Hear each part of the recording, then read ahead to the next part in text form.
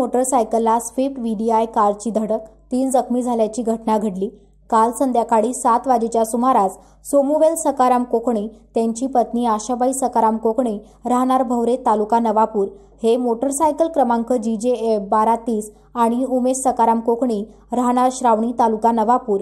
हे shine motorcycle क्रमांक M H एकोणचाळीस टी अकरा पन्नासवर आपल्या घरी जात असताना विसरवाडी नंदुरबार रस्त्यावरील बोधवड गावाच्या फाट्याजवळ विसरवाडीहून खांडबारा येथे भरधाव वेगात जाणारी स्विफ्ट व्हीडीआय कार क्रमांक जी जे एकवीस एम एक्क्याण्णव एकोणऐंशी याने रस्त्याकडे दुर्लक्ष करून समोरून येणाऱ्या दोघे मोटरसायकल स्वारांना धडक दिल्याने जबर जखमी झाले.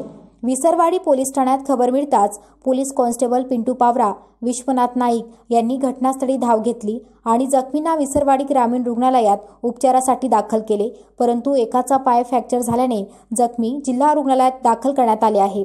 Sanjay Vani Navapur live news Navapur.